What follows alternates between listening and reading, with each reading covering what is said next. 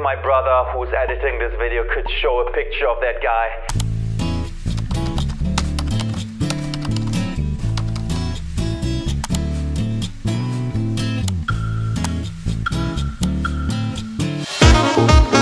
Hi sexy ladies, hi sexy gentlemen, Jeremy Fragrance here. Today we're gonna talk about the top 10 most masculine fragrances on the market. I am not going to show you fragrances like Polo Green that I personally think are not modern anymore. And I'm not going to show you old school fragrances that are not very much available anymore like the Yves Saint Laurent Magnificent Oud Fragrance M7. So let's start off with the list with the number 10 spot, which is a soapy fragrance for men in a masculine way, John Varvatos Artisan. And this one smells really much like a guy that is dressed all black, has a lot of money, and does not need to show it.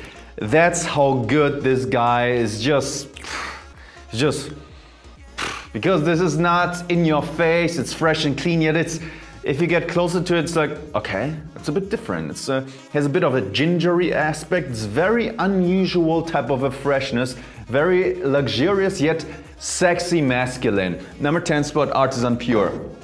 Number 9 spot, Bottega Veneta Homme Extreme. This fragrance got me even compliments in Hawaii in the sunny heat. However, I mostly see this one since it's a forest type of smelling fragrance with a leather aspect on a gentleman like Dan Bilzerian, a rugged man, alpha male type of style. Number 9 spot, Pour Homme Extreme.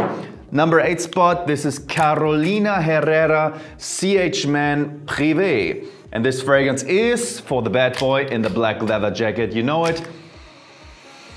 Has a leather note, has a boozy note, has a seductive cardamom. Bad boy in the black leather jacket. Number eight spot.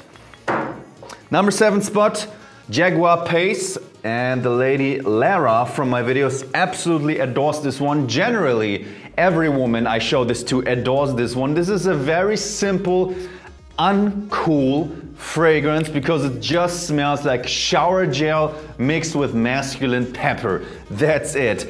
It has better than average performance. It smells like shower gel with pepper and it is one of the cheapest ones on this list. Very nice fragrance.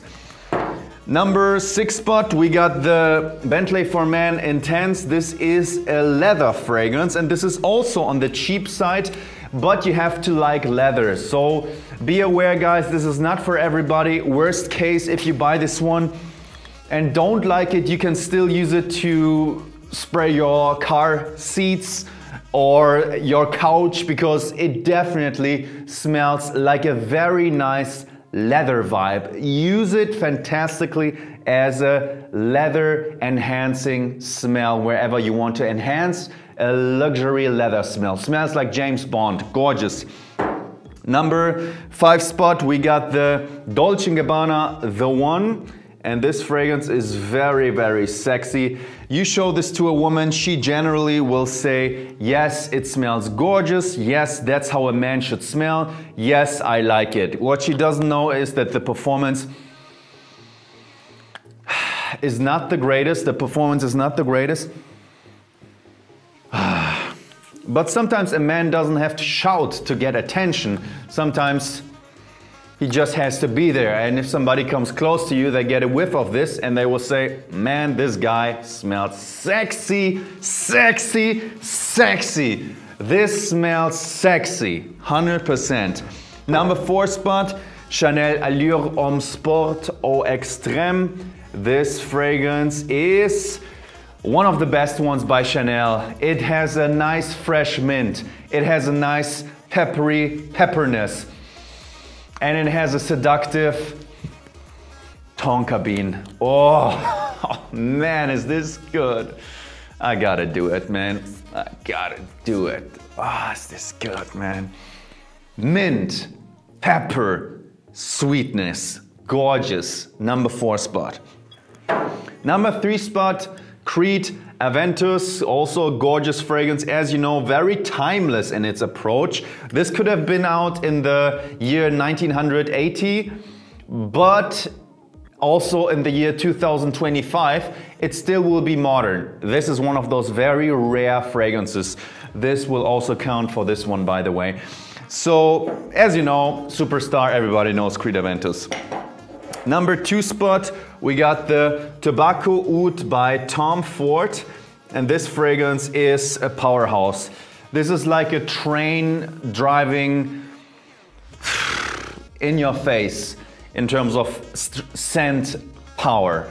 It's like a train driving into your face. That's how much a punch you get in the face from the strength of this pretty oriental, not for everybody fragrance. This is a very bold fragrance and not for everybody.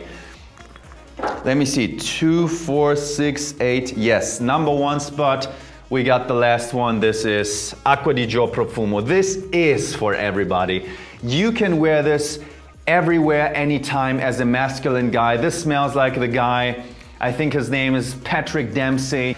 The guy, Patrick Dempsey, such a handsome man. Not overly, oh, look how muscular I am or whatever, but a cool, masculine guy. That's who I see wearing Acqua di Gio Profumo, man.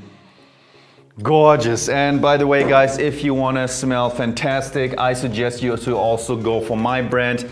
My brand is made to get you a lot of compliments. The first one is made specially for the office to smell great in the office. This is made to smell fantastic on a date. And the perfumer behind these is Alberto Morillas. You can Google this gentleman. Those are my fragrances, guys. So if you care about a lot of compliments, if you want your fragrance to have a long lasting effect, and if you want to have the right clean and fresh fragrance for the daytime, wear this. If you want to have a sweet, seductive fragrance for the nighttime, then wear this. All right, we're coming. Thank you very much for watching, ladies and gentlemen. Have a great day. Love you. Bye.